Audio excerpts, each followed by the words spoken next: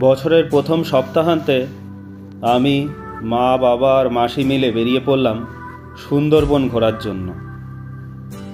দুই রাত তিন দিনের এক প্যাকেজ বুক করা হলো। কলকাতা থেকে ট্রেনে করে ক্যানিং, সেখান থেকে প্রায় কুড়ি কিলোমিটার দূরে সোনাখালি বোট স্ট্যান্ড। সেখান থেকে বোটে করে বেরিয়ে পড়া হলো সুন্দরবন ভ্রমণের উদ্দেশ্যে।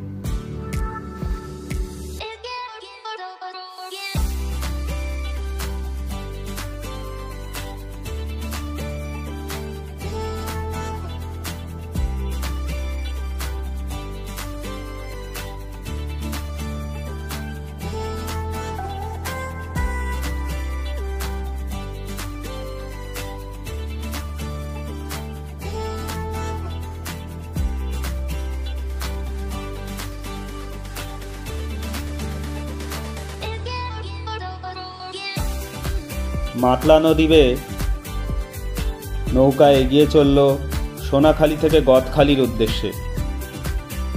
এই এলাকাটায় নদী বেশ চওড়া।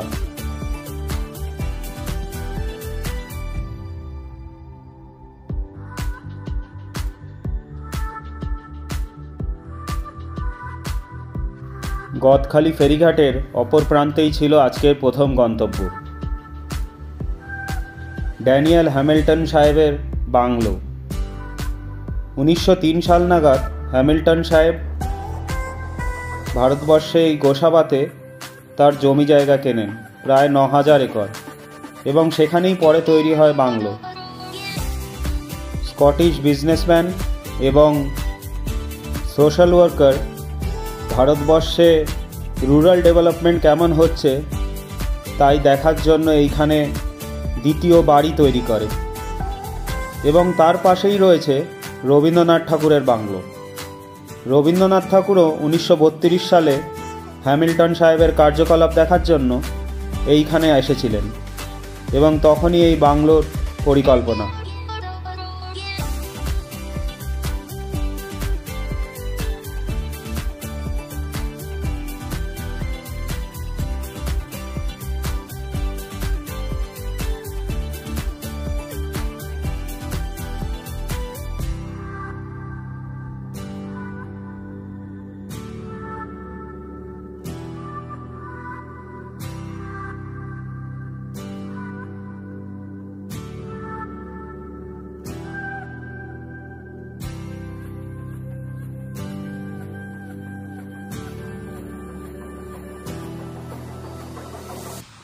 নৌকা বিহারের সব থেকে বড় পাওয়া হলো সূর্যাস্ত দেখা।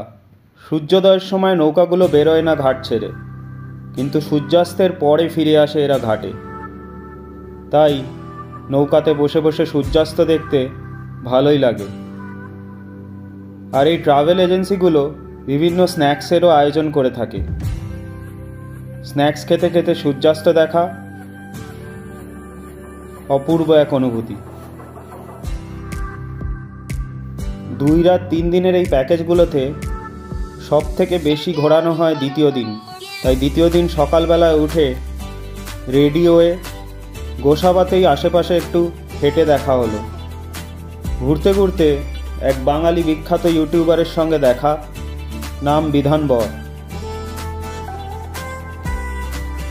আর এই কিছুক্ষণ আগেই সূর্য উঠেছে। তাই ছবি তোলার জন্য এই সময়টা খুবই আদর্শ।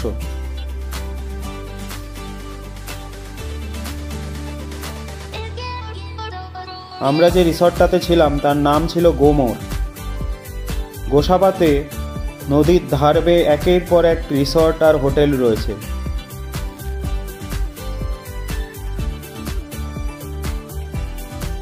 পৌঁছে গেলাম দ্বিতীয় দিনের প্রধান গন্তব্য এবং প্রথম গন্তব্যে। নাম সজনেখালি ওয়াইল্ড লাইফ স্যাংচুয়ারি। উনিশশো ছিয়াত্তর সালে তৈরি এই সজনেখালি ওয়াইল্ড লাইফ স্যাংচুয়ারি সুন্দরবনের অন্যতম দর্শনীয় স্থান এবং সমস্ত দর্শনীয় স্থানগুলোর মধ্যে সবথেকে বেশি ভিড় এই এলাকাতেই হয়। যদিও এখান থেকে বাঘ দেখা দুষ্কর, তবুও এখানে একটা ওয়াচ টাওয়ার রয়েছে যেখান থেকে দূরের জঙ্গল দেখতে পাওয়া যায়। আর পাশেই রয়েছে ম্যাংগ্রোভ সুন্দরী গাছের বন এবং এই শ্বাসমূল। বাঘ না দেখা গেলেও প্রচুর বাঁদর দেখতে পাওয়া যায় এখানে।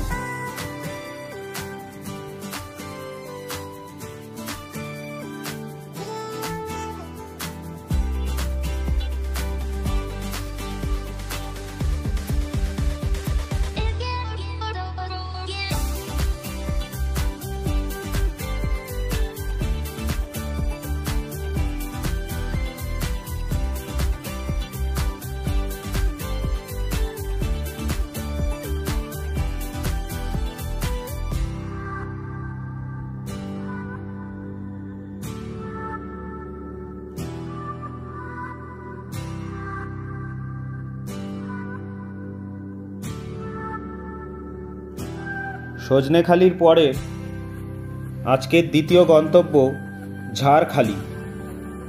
এখানে এক পার্ক তৈরি করা হয়েছে।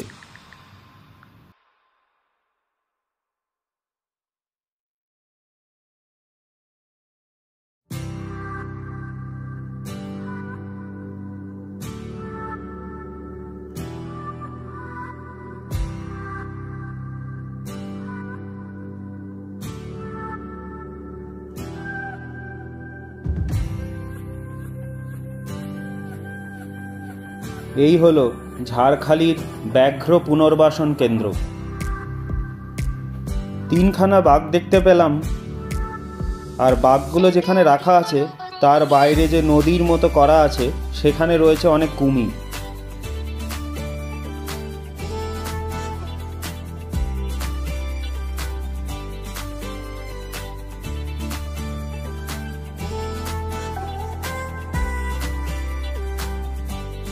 ঝাড়খালি থেকে কিছু এগোনোর পরেই আসে বৈদ্যধারী নদী। আর এই বৈদ্যধারী নদীর পাশেই রয়েছে দোবাকি এবং পঞ্চনদীর সঙ্গমস্থল। এই দোবাকিতেও গড়ে উঠেছে এক ওয়াইল্ড লাইফ স্যাংচুয়ারি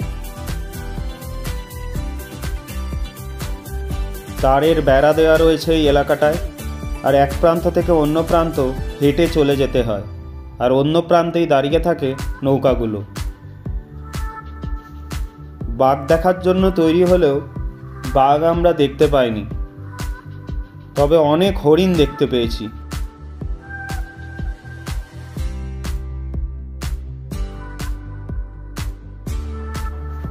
দোবাকিতেও রয়েছে একটা ওয়াচ টাওয়ার। আর সেই ওয়াচ টাওয়ার থেকে দূরে অনেক হাঁস বুনো শুয়োর আর হরিণ দেখতে পাওয়া যায়। এই এলাকাটা অপূর্বভাবে সাজানো রয়েছে।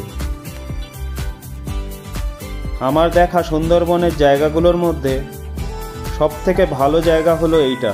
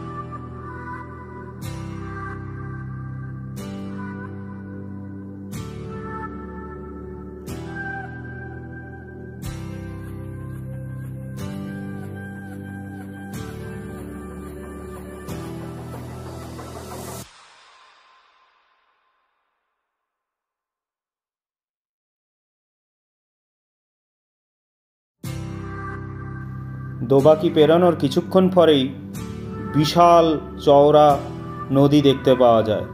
সমুদ্রের মতো দেখতে লাগে, আর এখানেই রয়েছে পঞ্চনদীর মিলনস্থল। এই এলাকাটা দেখতে দূরে পুরো সমুদ্রের মতো। এত চওড়া নদী সচরাচর দেখতে পাওয়া যায় না।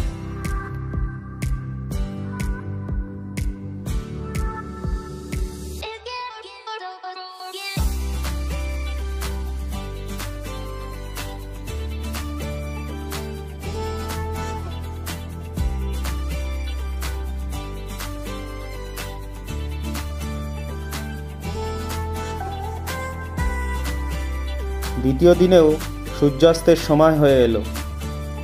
আবার নৌকায় বসে বসে সূর্যাস্ত দেখার পালা। এখানে কখনো কখনো বাংলাদেশ থেকে আসা অনেক জাহাজ দেখতে পাওয়া যায়।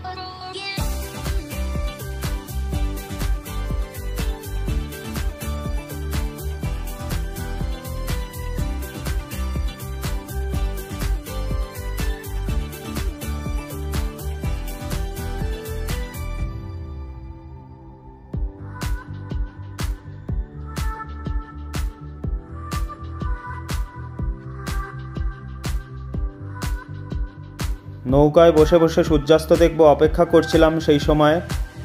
হঠাৎ করে নাবিক ভাই বলল, চলে এসেছে আজকের শেষ গন্তব্য, সৌধন্যখালি। এখানে এক বনবিবির মন্দির রয়েছে আর অনেক নিত্য নতুন গাছ এবং তাদের নাম লেখা সঙ্গে। আর এখানকার ওয়াচ টাওয়ার থেকেও দূরে জঙ্গল দেখতে পাওয়া যায়। একটা ক্যামেরাম্যানদের গ্রুপ গেছিল। তারা আমাকে এক বাঘের ছবি দেখাল। এক ঘণ্টা আগেই তারা এখান থেকে সেই বাঘের ছবিটা তুলেছে।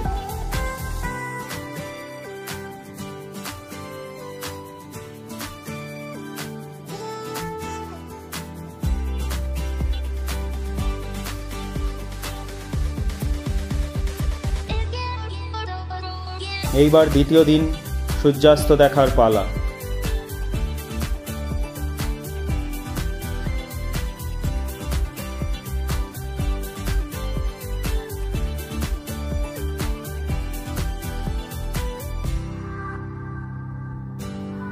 আমরা গোসাবাতে রিসোর্টে ফিরে যাওয়ার থেকে পাখিরালয়ে নেমে কিছুক্ষণ ঘুরে নেওয়ার সিদ্ধান্ত নিলাম। তাই নৌকাটাও আমাদের পাখিরালয়ে নামিয়ে দিল। পাখিরালয়ে রয়েছে এক ছোট্ট মার্কেট। সেখানে সোভেনিয়ার কিনতে পাওয়া যায়। সেই কিনেই ফিরে আসা হলো দ্বিতীয় দিন। তৃতীয় দিন সকাল সকাল উঠে বেরিয়ে পড়া হলো আশেপাশে এলাকা হেঁটে দেখতে। ধান ভাঙছিল পাশেই। এখানে খেজুরের রসও পাওয়া যায়। যদিও আমরা সেরকম আলাদা রকম স্বাদ অনুভব করিনি খেজুরের রসের এখানে।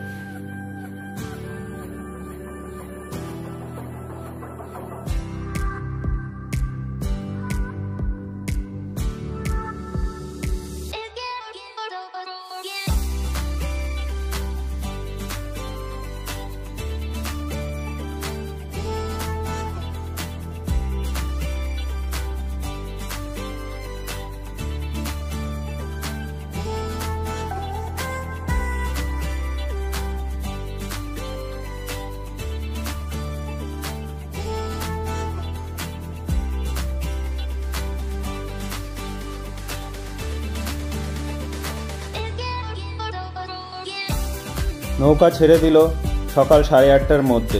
পৌঁছালাম আজকের প্রথম গন্তব্য, বনবিবির মন্দির। খুব বেশি দূরে ছিল না, আমরা যেখানে ছিলাম, সেখান থেকে। নদীর অপর কিনারেই ছিল এই বনবিবির মন্দির। ছোট্ট একটা মন্দির, সেখানে বনবিবি, শিব, হনুমানজি সবারই মূর্তি রয়েছে। আর এই এলাকাটা বেশ শুনশান। পাশে ছোট ছোট অনেক পুকুরের মতো রয়েছে।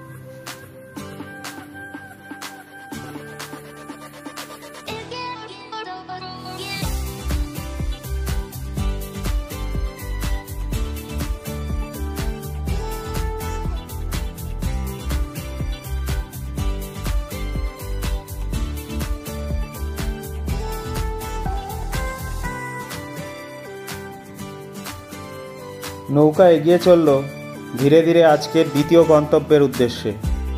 আর এটাই হলো এই সুন্দরবন দুই রাত তিন দিনের ট্যুরের শেষ গন্তব্য।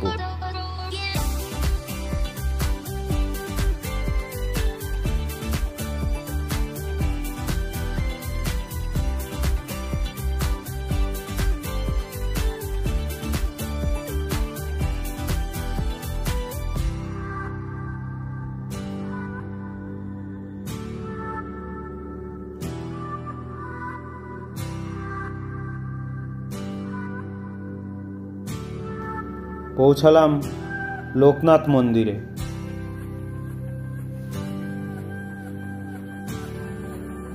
এখানে খেজুরের গুড়, নাড়ু, এইসব বিক্রি হচ্ছিল। আর আমরা যেই সময় পৌঁছেছিলাম, লোকনাথ মন্দিরে বৈষ্ণব কীর্তন চলছিল। আর সঙ্গে প্রসাদ হিসাবে দেওয়া হচ্ছিল খিচুড়ি।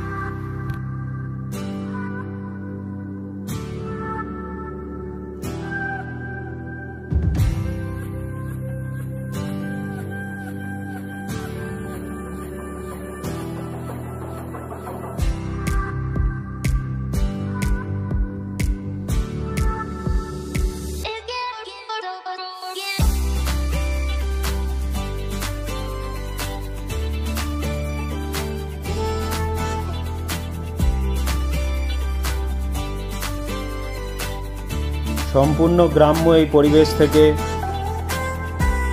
সুন্দরবনকে বিদায় জানাব। নৌকা এগিয়ে চলবে, গদখালি হয়ে সোনাখালির উদ্দেশ্যে।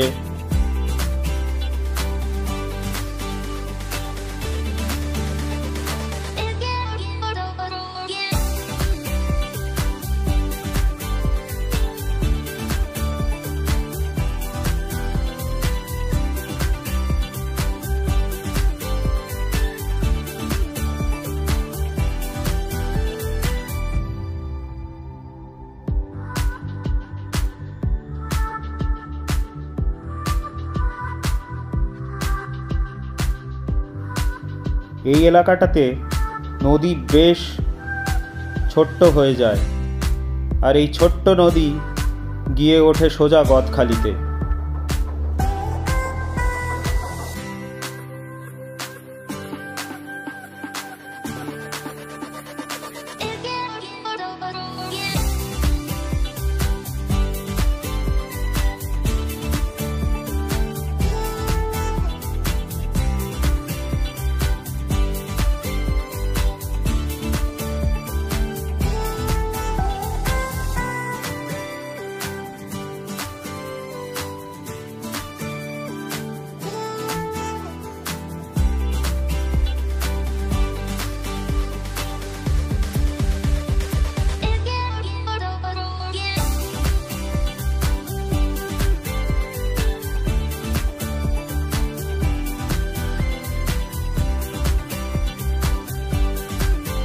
ঝাঁকে ঝাঁকে উড়ে যাচ্ছে পাখি নদীর উপর থেকে।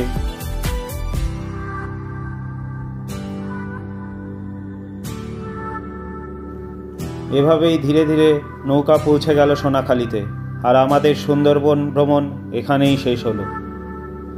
লাইক করুন আমার ভিডিও, শেয়ার করুন আমার ভিডিও, আর সাবস্ক্রাইব করুন আমার ইউটিউব চ্যানেল। আবার দেখা হবে পৃথিবীর অন্য কোনো প্রান্ত থেকে কোনো একদিন। বিদায় সবাইকে।